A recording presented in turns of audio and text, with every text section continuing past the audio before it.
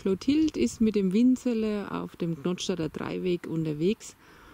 Ja, und jetzt haben wir doch endlich Knottstadt erreicht. Zumindest, man sieht es schon einmal ein bisschen weiter weg. Jetzt machen wir erst einmal ein Bauisler. Da sieht man schon den ersten Bulldog von Knottstadt.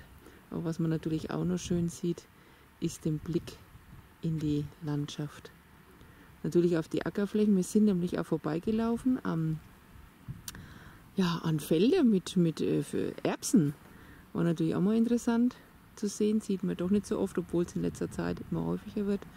Und hier sieht man natürlich die äh, Flurbereinigung. Hier sehr schön.